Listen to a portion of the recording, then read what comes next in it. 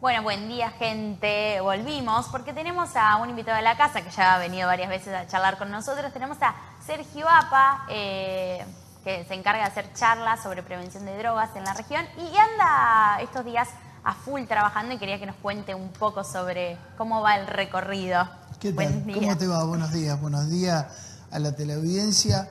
Sí, sí, sí, el- el- el- es nuestra pasión esto que hacemos de, de estar en todas las localidades. Trabajamos en 12 localidades del Departamento General López.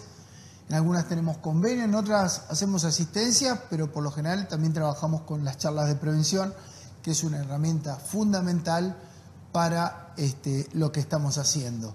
Eh, estuvimos en Rufino, una experiencia majestuosa porque la verdad que no, no me alcanzan las palabras para, para decir lo que vivimos cuando nuestros jóvenes este, comienzan a hablar o se animan a hablar, pero propiciándoles siempre el espacio, porque muchas veces este, ellos eh, acusan o dicen este, no tener el lugar. Eh, es importante entender de que la familia es el órgano principal en, digamos, en el crecimiento de estos jóvenes y en la vida de estos jóvenes para que ellos puedan este, crecer este, y formarse saludablemente. Eh, muchas veces no lo estamos viendo y es eso lo que hacemos el trabajo. Por ejemplo, ahora viene una charla para padres donde se va a trabajar la temática cómo nos ven nuestros hijos. Entonces digo, eh, como decimos siempre, ¿no? Qué importante es poder vivir la experiencia con ellos.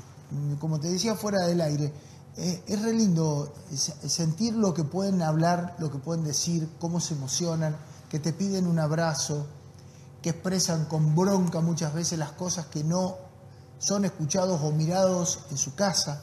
Eh, a ver, hay situaciones muy traumáticas este, y bueno, los jóvenes se animan a hablar y eso es lo importante. Claro, a mí lo que me llama mucho la atención de, de- de tus charlas, que no son la típica charla eh, al, al escuchar, sino también a la intervención, a la participación, que es lo que más se destaca. Claro, a ver, yo eh, sería muy fácil ir a hablar de libro y demás. Yo hay, hay veces que nos extendemos, la, la charla dura una hora veinte y después el feedback. Dos horas y media, los chicos no se levantan, cuando muchas veces no toleran ir a la escuela, eh, no pueden estar mucho sentados. Tendrías que verlo, porque realmente es, es nada, es, digno de, de- de verlo porque es re linda la sensación y la situación que vivimos. Pero bueno, también quiere decir mucho lo que decimos. Nosotros no hablamos de libros ni de relatos que nos contaron, no, vivimos, o sea, las vivencias son en primera persona. De, ¿Viste el video que te mostré de esa mamá hablando de que su hijo se está recuperando en una granja? Y, a ver, y esas cosas necesitan ellos. Los jóvenes están cansados que le mientan, que le digan que no van a poder, que le digan que, eh, que la juventud está perdida, cuando en realidad lo primero que tenemos que hacer es cambiar los mayores y darle el ejemplo, porque le decimos que tienen que ser tal y tal cosa y prender la televisión y los mayores nos estamos agarrando las piñas, puteándonos, diciéndonos barbaridades. Entonces digo, a ver, yo creo que los mayores, como decimos siempre en el espacio Ariel, este, somos los que tenemos la deuda pendiente con ellos y debemos trabajar para eso. Ahora, yo no sé si lo vamos a poder lograr, pero acá hay una, tenemos una virtud muy grande, que ellos hablan y expresan un montón de cosas, de las cuales deberíamos copiarle. Porque es fácil Sí. decirles que, mm, que la juventud está perdida. No, ¿sabés lo que primero le digo yo a ellos cuando entro a la charla? Yo creo en ustedes. Y ahí cambia todo, porque ellos se relajan. Ellos se entienden de que hay un pelado que les dice que cree en ellos. Y a ver, ¿quién soy? Una persona que ha pasado por la problemática y que no les miente. Porque realmente todo lo que bajamos, la información y demás, es certera, es profesional, pero puntualmente es en primera persona, por experiencias vividas y el trabajo en territorio. Porque, a ver, trabajar en adicciones no es tan fácil. Porque no todos quieren trabajar, es muy traumático y hay mucho trabajo que no se ve. Sí, obviamente. Trabajar con la familia y orientarla. trabajar con el adicto hasta que podamos este, intervenir y poder lograr que haga un tratamiento ambulatorio, internación, lo que fuere, es difícil porque las familias están rotas. Entonces, ¿cómo le podemos pedir a un joven que sea algo cuando en su ambiente familiar hay violencia, hay abusos, hay malos tratos, hay esto de, de lo despectivo? ¿Cuántos padres le dicen a los hijos que a la, yo a tu edad era esto y el otro? Digo, papá, si estás del otro lado y me escuchás, no lo hagas más. ¿Sabés qué le tenés que decir? Vos tenés que ser mejor que yo. Esa es la manera, porque si no, con esto de yo a tu edad, es decirle, vos no vas a poder. Pero bueno, muchos padres por desconocimiento o por conocimiento lo siguen haciendo y estaría bueno empezar a cambiar en estas pequeñas grandes cosas, en estos decires.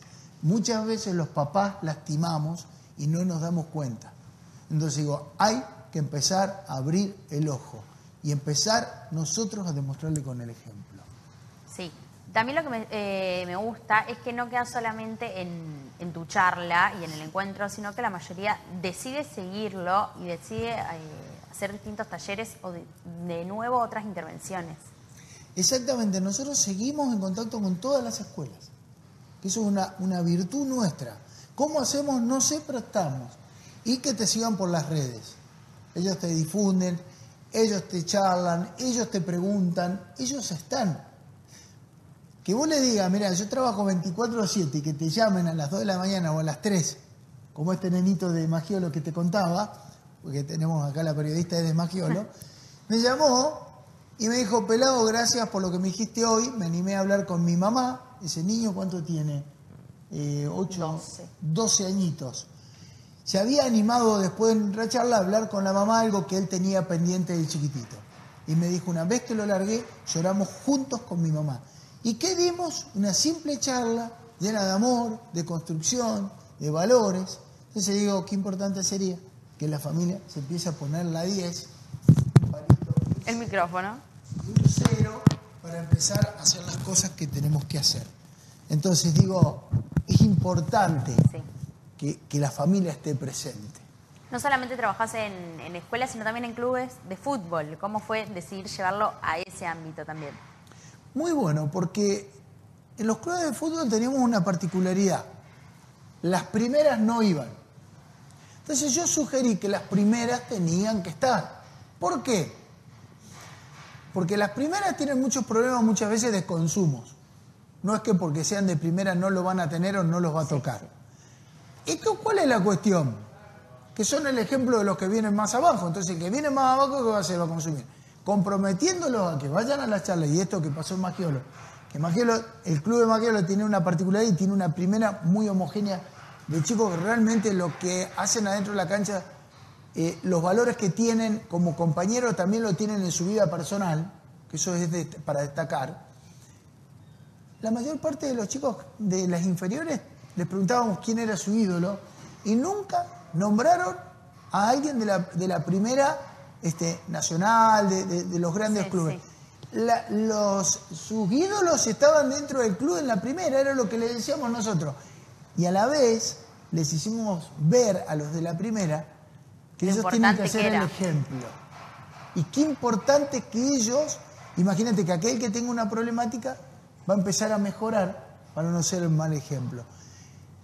¿Cuánto nos costó esto? Cero. Era accionarlo, era hacerlo y usar esto. ¿Por qué? Desde Espacio Aéreo no tenemos recursos. Los municipios muchas veces no tienen recursos, pero es una cuestión de tener ganas de hacer. Con recursos cualquiera hace. Sin recursos es muy difícil porque hay que usar la materia gris y es lo que no quiere hacer la gente. Entonces empecemos a acoplarnos. Recibimos críticas por hacer, porque aquel que no hace no lo pueden criticar porque no existe. Obviamente que nos vamos a equivocar por hacer, nos equivocamos diariamente, pero también aprendemos y no volvemos a repetir la historia o el error. Ahora, aquellos que critican, este es un mensajito que les mando con todo el amor de mi vida, dejen de criticar y hagan. Y si no pueden hacer, súmense a nosotros o a la gente que está trabajando en adicciones. Porque es tan tedioso este trabajo y tan doloroso que para hablar son de ahí, pero para hacerse cargo de los problemas que tienen en la casa, no los muestran, los niegan y es como que están naturalizados. Entonces, como, decimos en el campo, de ahí, ¿viste? Además de tratar de los consumos problemáticos, por ejemplo, me dijiste que en el tema de clubes estaban eh, organizando un proyecto eh, sobre esta cuestión de la bardeada eh, y los insultos en la cancha. Exacto, sí, sí, se viene algo nuevo, ya hay lugares y clubes que lo hacen, pero esto va a ser algo diferente que cuando esté te lo vamos a mostrar para que lo vean, porque a ver, eh, siempre hay recursos para idear cosas nuevas y sobre todo teniendo una base de lo que se viene haciendo, en vez de hacer algo nuevo, no, potenciar eso y mejorarlo, porque esa es la idea, ¿viste? No descartar, porque no es nuestra idea, no. Sobre esa idea, mejoramos la idea y vamos a llegar a un buen final que cuando esté lo vamos a mostrar y es importantísimo. Ahora dentro de poco vamos a estar en la ciudad de Rufino haciendo una charla para padres, donde la charla se va a llamar este, ¿Cómo nos ven nuestros hijos? Pero bueno, va a salir en todas las localidades, Diego de Alvear, San Gregorio, Magiolo, Santiespíritu, Amenábar, Rufino y tantas las localidades que lo quieran escuchar, porque está muy bueno y viene con una dinámica diferente, diferente. a lo de todo lo que vieron en sus vidas en charlas. Es algo diferente. Si hay algo que tengo, es esta locura de que me gusta crear. Cuando yo siempre pensé que me iba a morir falopero, hoy estoy aprendí a conocerme y a creer en mí y a poder gestionar estas cosas para ayudar a los demás. No pierdo el tiempo criticando, sino que gano el tiempo para construir un mundo mejor.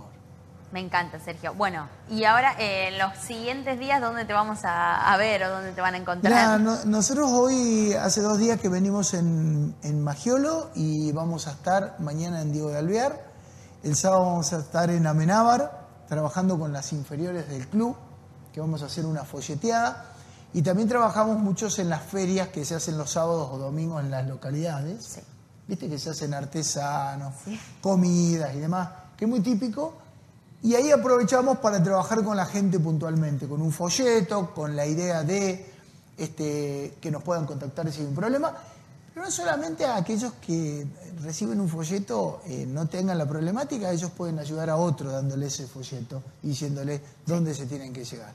Hay localidades que están realmente comprometidas, Rufino, San Gregorio, Diego de Alvear, Amenábar, Santi Espíritu, Magiolo. Realmente el trabajo que estamos haciendo ahí, tenemos más de 50 chicos en granjas, donde hacemos un trabajo de acompañamiento a la familia fenomenal.